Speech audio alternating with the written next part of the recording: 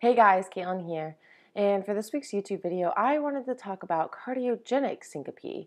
Um, when a patient comes in with a chief complaint of passing out or syncope, um, there's a couple of different types of syncope that you want to think about. One of them is neurogenic, so anything in the CNS, seizures, um, MS, all those can cause syncope. And then there is the vasovagal, obviously, and then there are cardiogenic causes of syncope. And these usually manifest as EKG changes. So I just wanted to go over those changes with you today.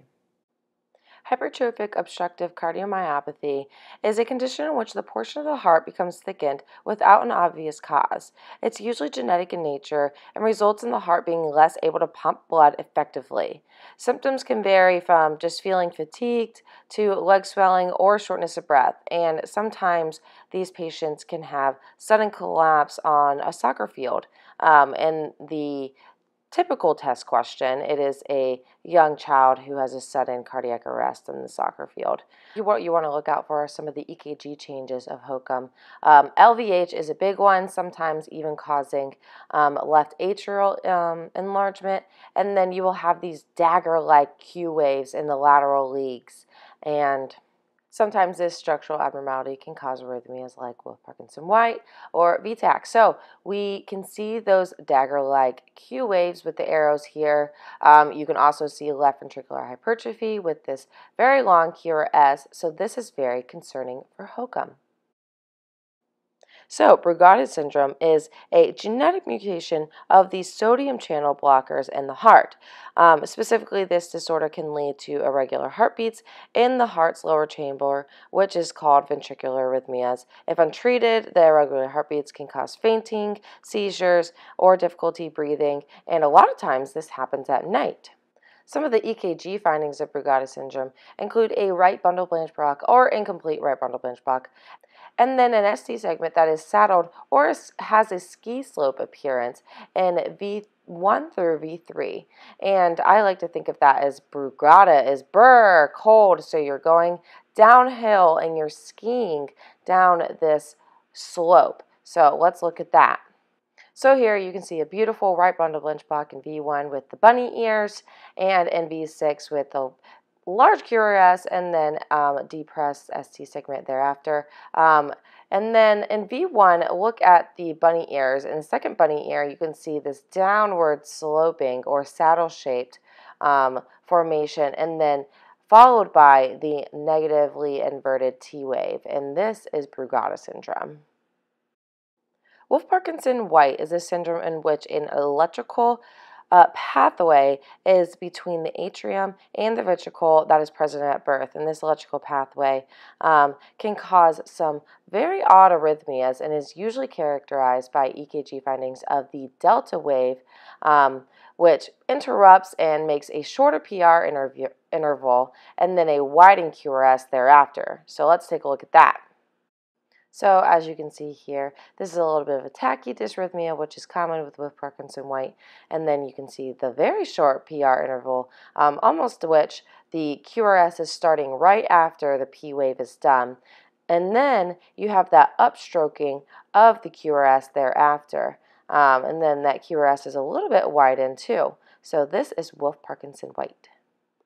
Arrhythmogenic right ventricular cardiomyopathy is a clinical entity characterized by ventricular arrhythmias and ventricular pathology consistent with right ventricular dilation, RV dysfunction, or any RV wall motion abnormality. And it usually manifests in some EKG changes consistent with an epsilon wave, um, T wave inversions, and then a slow upstroke of the S wave. So as you can see here, there are epsilon waves and then viral leads. And this is that little notching after the QRS and then viral leads. And then you have T wave inversions in V1 through V3. And then you can see some S upstroke um, that is prolonged in some cases. So let's take a closer look at the epsilon wave. So like I said before, that little notching after the QRS you can see is the epsilon wave. And then you can have the prolonged slurred upstroke of the S wave occasionally. So that is AVRD. QT prolongation is a measure of the delayed ventricular repolarization, which means the heart muscle takes longer than normal to recharge between beats. Um, there are many different causes of QT prolongation. A lot of electrolyte causes, um, heart attacks, increased intracranial pressure. Uh, this can be congenital in nature, and then a lot of medications and drugs can cause a prolonged QT. Some of the common ones are Benadryl, so antihistamines, um, anti-nausea medicines like Zofran, um, anticholinergics, antiarrhythmics, um, and then a lot of TCAs cause um, prolonged QTs as well. So let's take a look at that. So seen here is prolonged QT and uh, sometimes it's very hard to just recognize it by looking so I like to go up to the top part of the EKG and get the correct measurement of the QT and my ballpark number is greater than 500 milliseconds. There are some discrepancies between males and females but I use 500 milliseconds if it's longer than that then it's prolonged QT and sometimes you're going to want to adjust this to the heart rate so sometimes your QT becomes shorter and longer.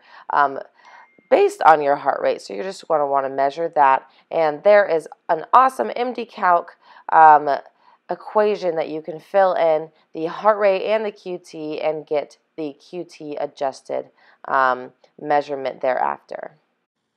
And that's it, guys. Thanks for listening. Um, just remember there are cardiogenic causes of syncope, and I like to specifically look for all of these causes on the EKG because sometimes they can be very subtle and don't always have everything that we talked about, or they might have one specific finding in the EKG, and you might just overlook it if you're just looking for ST elevations at that time. Um, so that's it. See you next Wednesday, guys.